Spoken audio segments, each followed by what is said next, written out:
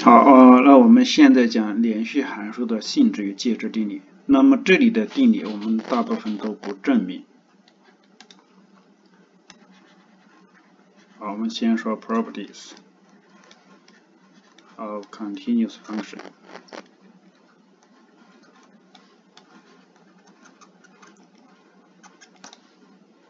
那我们先假设，啊，我们给直接给出定理啊。这应该写成是定理。呃，我们假设 f(x) and g(x) are continuous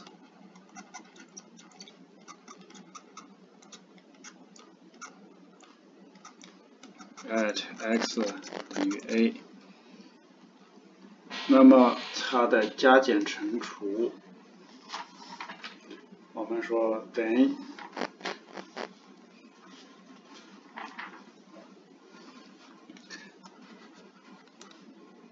等 the following，嗯，那么这这些函数。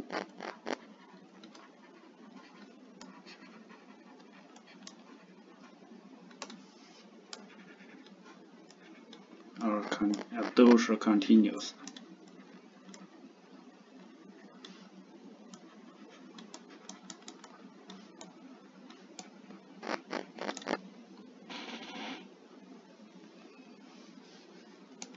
嗯，f(x) 加减 g(x)，f(x) 乘上 g(x)，f(x) 除以 g(x)，当然说 g。A 要不等于零，还有 c 乘上 f(x)，这些函数那都是啊，这是第一个定理，这些函数都是连续的。那我们不去证明，这些都做叙述就可以了。那要证明的话，直接用这个呃 limit 的一些运算。直接来来证明就可以了，直接把 limit 的把把函数的定义搬过来，再利用 limit 的一些性质 rules 啊 limit laws 直接证明，直接写一下就可以了。那么第二个定理是关于这个复合函数的，呃 f(x) continuous at x 等于 b，而 g(x) continuous at x 等于 a，并且 g a 等于 b，那么 f g x continuous at x 等于 a，并且 f g a 等于啊，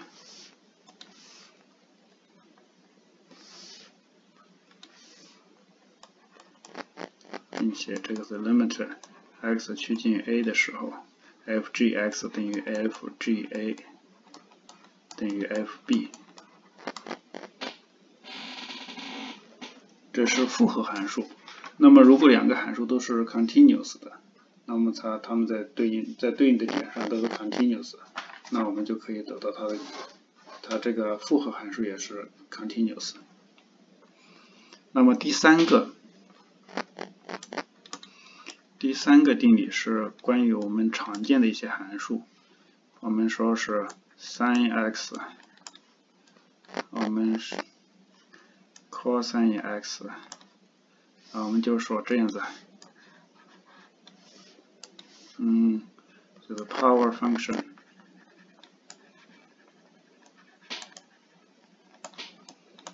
呃，trigonometric，啊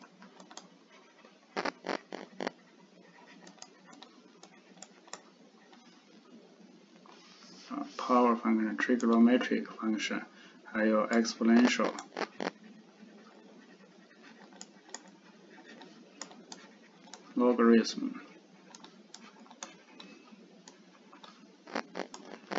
and inverse trigonometric functions 啊，我们可能在这里没有讲 inverse，之前没有讲。如果你如果你不不知道这是什么东西，那我们后面我们可以，我们后面我们还会再去呃稍微呃稍微的去讲解一下这个啊反三角函数 inverse trigonometric function are continuous。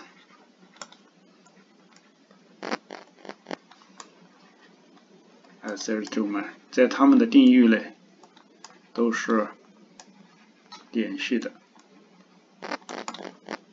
这个我们也不去证明，这些都是我们嗯叫做这几个函数，我们都叫做基本初等函数。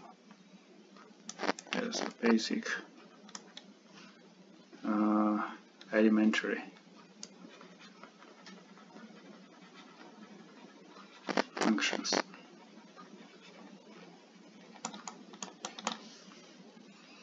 那么再有我们的刚才加减乘除复合这种函数，它也是连续的。好，那这是我们连续函数的这个一些结论。那我们嗯较关比较重要的，我们专门单独提出来的有这么几个定理。这个是这个我们第一个定理叫做。intermediate value theorem.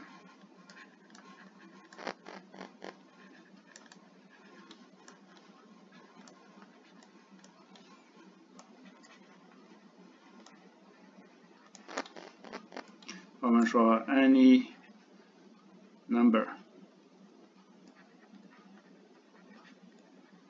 c，它如果是介于 f a 和 f b 之间的，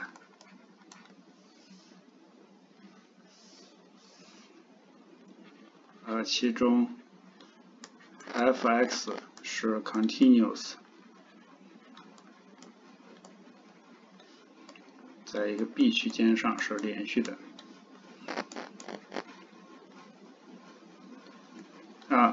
在一个 B 区间上的连续函数，那么介于它，那么就存在一个点属于 A、B 这样一个开区间，such that f(x 零)它是等于 c，也就是介于它两个端点值之间的任何一个值。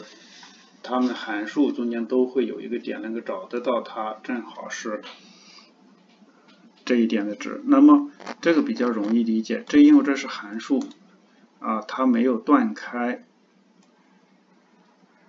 啊，它是没有断开的。那么这个是 f，这是 a，那么 f(a) 在这一点，这是 b f(b) 在这一点啊，也许在这一点。那么介于这中间的任何的一个值。那么肯定函数有一个点使得 f(x 零)等于 c，它这个点也许不不，也许也许也许有很多个点啊，这也是 x 零。那因为是没有断开的，它中间的值，它 f 从 f 从 a f a 到 f b，它中间肯定会经过这个 c 这个点，这是 intermediate value theorem。那么它的有一个。它有两个推论，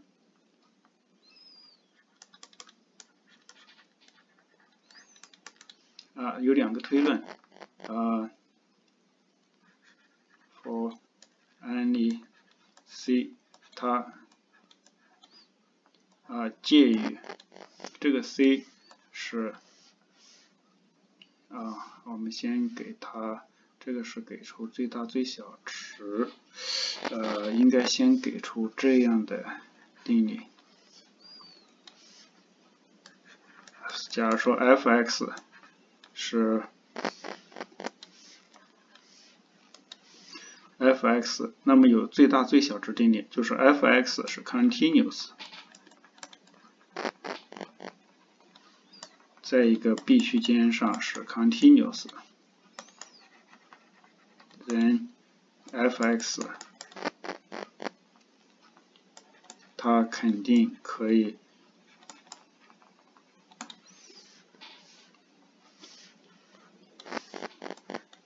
啊。那么它肯定可以达到它的最大最小值。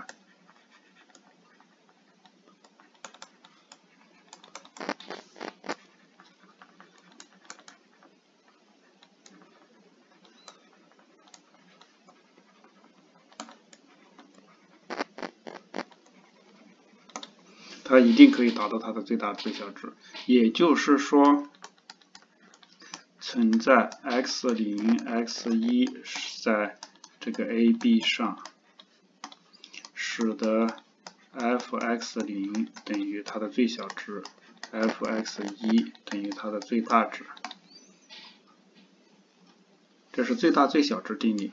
那么有最大最小值定理，我们再进一步，我们可以有另外一种介质定理，也是 intermediate value theorem。啊。for any c 在 c between 小的 m 和大最小值和最大值之间，呃，there exists x 零属于 a b，使得 f(x 零等于 c)。那我们可以再画一个，就是这个样子的啊。如果它是这个样子，那么这个是这个是最小值，那么这个是最大值。那么你中间的任何的值，它肯定会肯定会有一个点。如果这是这是 c 的话，那么它肯定有个点，f(x 零等于 c)。那么第七个定理就是我们零点存在定理，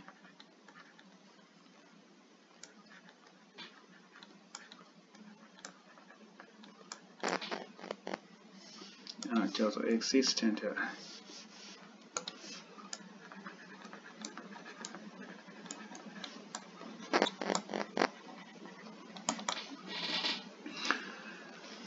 那么。假如说 f(x) 是 continuous，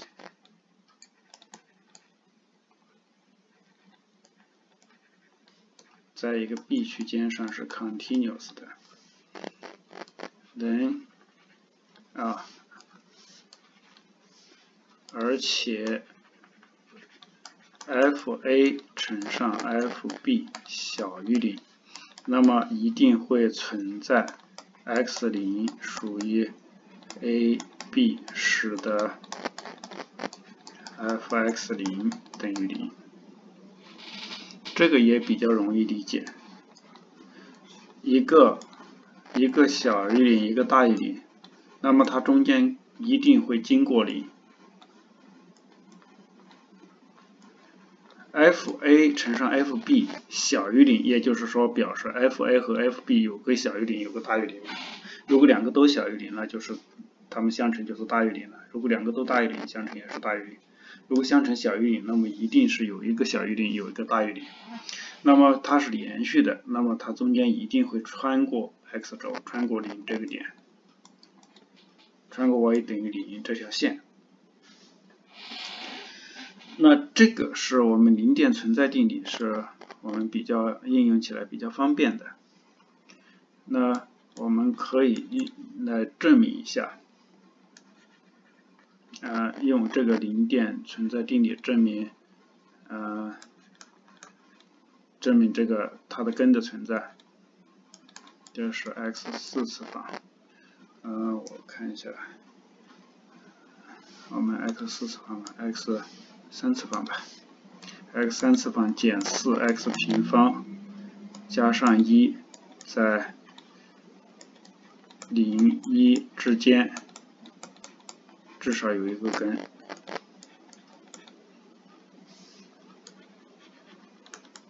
哦，哦，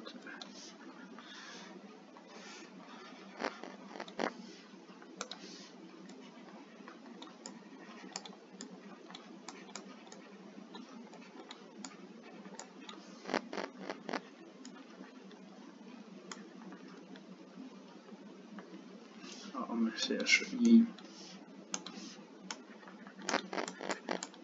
在零一之间至少有一个根。那我们这个呃证明直接用零点存在定理，因为 f a 等于一，那 f 零等于一，而 f 一是等于负二，所以 f 零乘上 f 一等于负二小于零，所以 by 我们叫做 theorem of existence of zeros。There exists at least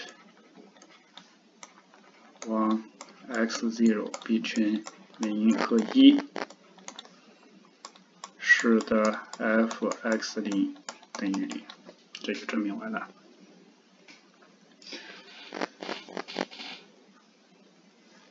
好，这是我们嗯的介质定理。那我们可以再看一个，呃，用这种方式来做。我们 prove。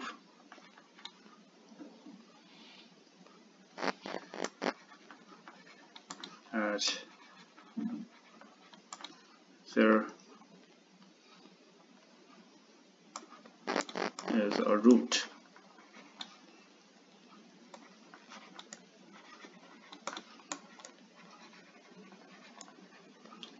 equation 就是四 x 立方减六 x 平方加上三 x 减二等于零。between 一和二，它都已经告诉我们区间了 a 和 b。那我们一样的，我们我们先设 f(x)，它是等于四 x 立方减六 x 平方加上三 x 减二。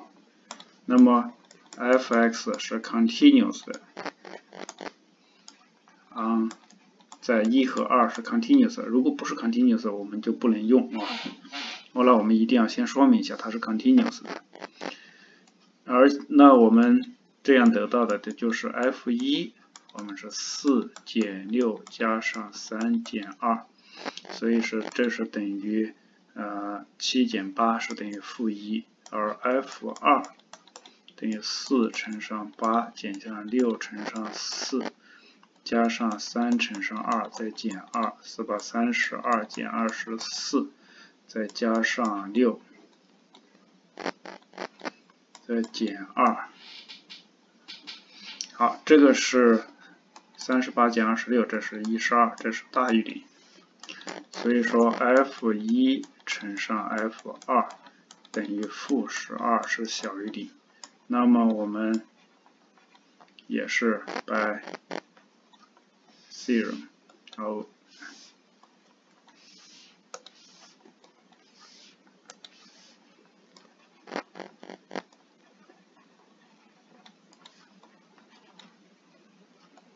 existence.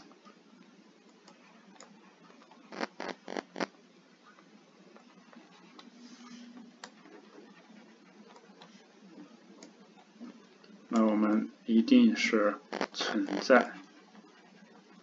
there exists x 零属于一二，使得 f(x 零等于零，这就证明完了。